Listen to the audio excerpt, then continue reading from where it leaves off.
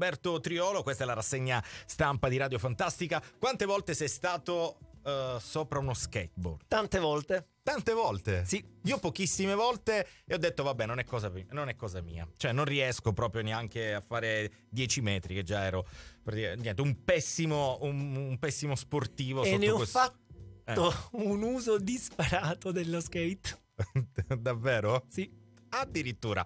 Dai, ne parliamo subito con chi eh, ne fa praticamente oggi un, eh, un, monumento anche insieme alla Federazione Italiana dello Sport per quanto riguarda il movimento delle ruote, rotellisticamente parlando. Parliamo dello uh, skate e lo facciamo con il responsabile della commissione skateboarding nazionale, Luca Basilico, e scopriremo non solo le radici dello skateboard, ma anche di quello che è il futuro futuro di questa disciplina perché ci sono tante novità. Buongiorno Luca, grazie per essere qui con noi.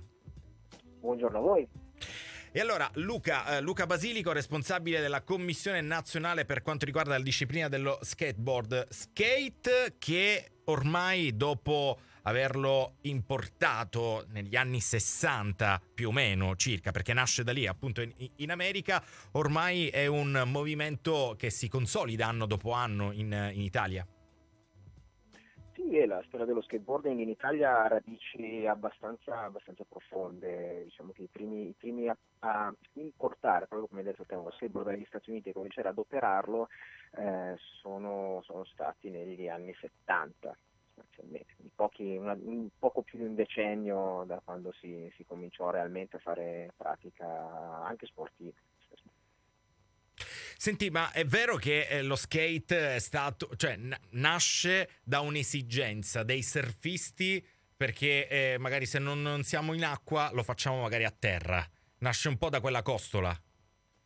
Sì, sì, allora è, è un po' una, diciamo così, una tradizione che va sfora un po' nella leggenda, nel senso, comunque si dice che insomma, in quegli anni in cui si cominciò a, pro- a praticarlo in una forma più simile a quella, a quella odierna, eh, fu proprio quando in una stagione di estrema siccità in California i surfisti cominciarono a, dire, a, a cercare alternative alle onde, alle onde d'acqua essenzialmente. Poi in realtà eh, diciamo così, forme rudimentali di skateboard eh, se ne vedono forse dagli anni 40 di sicuro. L'idea di avere questi carrellini eh, su, su, cui saltare sopra. Diciamo. Quando, quando, hanno inventato i pattini a rotelle, poco dopo qualcuno ha pensato di staccare le ruote ai pattini e appiccicarle sotto un pezzo di legno. Si è cominciato da lì. Più uno stile di vita o un mezzo di trasporto per qualcuno? Ma un po' tutto, nel senso che la cosa bella dello, dello skateboarding è che è, è molto, è molto, facile accedervi, nel senso che costa poco e si può praticare ovunque. E questo chiaramente dà la possibilità a tutti di farne un po' quel che vogliono. Quindi, eh, c'è sicuramente chi ci dedica la vita e si lascia assorbere dallo skateboarding in maniera così completa e quindi diventa proprio uno stile di vita e c'è invece anche chi, chi in più tempi magari anche, anche più recenti insomma, il movimento si sta allargando molto ne ha, ha un approccio allo skateboarding più diciamo così da passatempo da mezzo di trasporto quello, quello che capita quante volte la mamma di Luca Basilico ha detto a Luca basta, so skate, lo butto? Guarda, in realtà poche volte, poche volte, perché mi ha sempre visto così felice e così appagato dall'andarci che eh, no, sai che penso non l'abbia mai fatto, a parte buttarmi via delle tavole che collezionavo perché avevano litigato, vabbè, però quelle sono altre cose tra madre e figli, però proprio non si è mai opposta al fatto che io andassi in skate, quello è sicuro. Numero di skate posseduti? Urca, difficile, allora, sai che lo skateboard si cambia pezzi, Appunto, anche, che... perché, anche, perché, sullo stile dei motorini anni eh, 80-90, anche gli skate venivano, tra virgolette, truccati, no? Si smontavano alcuni pezzi. Sì, nel senso che vai, solitamente il primo skateboard che uno possiede è quello che ci, mh, definiamo lo skateboard completo, quindi uno skateboard già pre, preassemblato eh, e poi piano piano uno decide mm, cosa, cosa preferisce in uno skateboard, eh, chi preferisce avere le ruote 55 mm e non 52 di diametro, c'è chi eh, vuole spendere un po' di più per i cuscinetti e compra quelli più precisi, c'è chi vuole la tavola più stretta, più larga, eh, i track che sterzano in un certo modo, insomma è come tutte le cose eh, diciamo così, praticate di fino, poi c'è anche una sensibilità che ti porta a scegliere questo o quel componente a seconda di quelle che sono le tue preferenze, quindi in realtà gli skateboard sono dei mostri in continua e progressiva eh, evoluzione. Considera che uno skater che skata eh, diciamo così, assiduamente consuma almeno una tavola ogni mese e 4-5 treni di ruote all'anno. Senti Luca, il personaggio uh, simbolo nei cartoni animati per uh, lo skateboard è senz'altro Bart Simpson. Ecco, ti sei mai sentito un po' Bart Simpson? Beh, diciamo che eh, soprattutto quando fai, fai, quando fai street skating, quindi quando vai per strade, quindi tendenzialmente sei un po' in quella condizione borderline eh, nei rispetti del, del, codice della strada e di chi ti, insomma, di, di chi ti vede in giro, eh, ti senti un po', un, po', un po' discolo, come dire, alla Bart, quindi sì, sì, spesso. Imprecazioni ricevute? Uff, una quantità inimmaginabile. Quella che ti ha segnato di più? Uh, cioè, raccontaci tutto, proprio il, il fatto. Cosa, cosa è successo? Eri, eri, in strada sicuramente e avrai tagliato la strada a qualcuno. Beh, guarda, quelli che, che in genere ti, ti, turbano un po' sono quelli che ti augurano la morte, stai attento che ti uccidi o cose del genere, eh, che se, se un attimo tu sei lì che stai pensando a quello che devi fare, eh, concentrato sulla tua, mh, mm, sulla tua diciamo così, performance e c'è uno che ti installa, quel, instilla quel, quel dubbio, che tra l'altro è remotissimo, però ecco, quella di solito è una cosa che ti, ti turba abbastanza. Traietta, il gufo. Il gufo, il gufo, bravissimo, il gufo, il gufo è quello che dice ma mollami. No, ma io parla- proprio parlavo in strada, cioè in strada ti è mai successo qualcosa, hai fatto arrabbiare qualcuno in modo particolare? E, e, allora, considera che ci sono quelli che, a cui ci riferiamo normalmente con spot, che sono quei luoghi della città dove, dove si va a skitare perché la conformazione architettonica ti permette di fare questo e quello. Eh, sovente, sovente, gli spot sono i luoghi proibiti, quindi il classico mh, eh, so, ingresso della banca piuttosto retro di, del negozio, eh, situazione un po' così.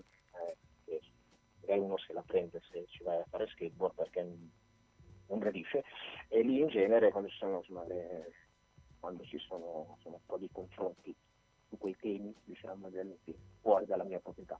Adesso però lo skate non è eh. più roba da scalmanati ma è una disciplina nazionale. Ecco questo passaggio vi ha anche resi un po' orgogliosi? Ma sì, allora, è bello che la gente cominci a capire, cominci a capire anche in relazione a quello che ti dicevo, eh, che ti dicevo prima, anche questa idea che sta cominciando a passare di, dell'utilizzo eh, attivo dello spazio urbano, quindi non pensare più alle piazze come luoghi dove ci sono panchine, ci si siede a mangiare il gelato, ma sono eh, luoghi dove si esce, si, va, si fa vita attiva e si utilizzano le strutture architettoniche in una maniera che è eh, diversa dallo standard e ti permette di divertirti, di fare attività ricreative, di fare sport. Ed è una cosa che si sta allargando sull'esempio dello skateboarding anche ad altre discipline.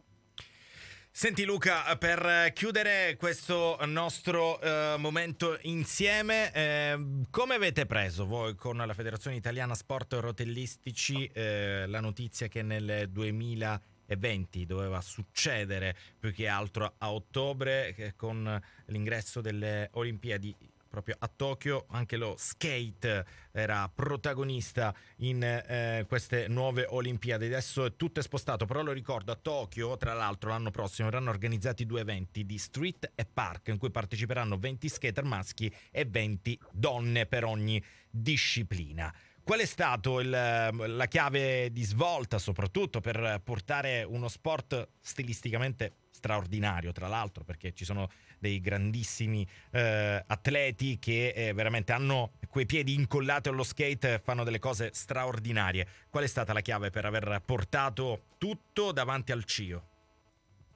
Beh, diciamo che eh, una cosa fondamentale è che lo skateboarding ha cominciato a evolvere da quell'idea di semplice sottocultura a qualcosa, a qualcosa, di più già dalla metà degli anni 90, nel senso che da quando si sono inventati gli X Games ad oggi sono successe un determinato numero di cose per cui lo skateboarding è già diventato uno sport praticato uh, a livello di massa, magari in nazioni come la nostra un po' di meno, eh, però di fatto ha i numeri e la statura anche a livello di gradimento da parte dei, dei giovani del pubblico per stare alle Olimpiadi. E chiaramente eh, il Comitato Olimpico Internazionale che ha il dovere di evolvere i giochi olimpici nella direzione del, del gradimento di chi fa sport e dei nuovi sport ha notato che discipline come lo skateboarding, come il surf, come la BMX freestyle eh, cominciavano a far breccia tra i gusti eh, dei giovani e anche dei, non, dei meno giovani e da lì quindi, la volontà di includere, includere nuovi sport. Eh, per noi, eh, ovviamente sono, ognuno ha la sua opinione, per chi ha un po' più di mentalità aperta eh, anche nel movimento dello skateboarding, la cosa è positiva perché eh, aggiunge sostanzialmente un livello ulteriore eh, di possibilità e di opportunità che chi vuole cogliere può cogliere e per nazioni come, come l'Italia sono opportunità importanti che altrimenti non avremmo mai avuto. Velocissimamente, in Sicilia che movimento c'è per quanto riguarda gli skater? Si chiamano così i profili che vanno sullo skate? La Sicilia ha sempre avuto una scena vivissima, ovviamente con eh, Palermo e Catania a fare, a fare, la parte del leone. Eh, sicuramente un'infrastrutturazione che è un po', mm, un po a zero, nel senso che ci sono attualmente lo skatepark più bello di Sicilia da Ragusa ed è veramente bello e si può dire che è la prima struttura di livello nazionale presente, presente sull'isola, sull'isola. Ma in Sicilia si è sempre skateato e si è sempre skateato tanto e la Sicilia è famosissima nel mondo proprio per chi viene a fare street skating in Sicilia, nel senso che negli ultimi 15 anni almeno da tutto il mondo c'è gente che viene eh, in vacanza a delle proprie skate holidays in, in Sicilia proprio per skateare le strade della Sicilia. Sai che ci dai una gran bella notizia perché onestamente non sapevamo di questo primato, posso, posso dire un piccolo primato nostro dell'isola, lo possiamo dire?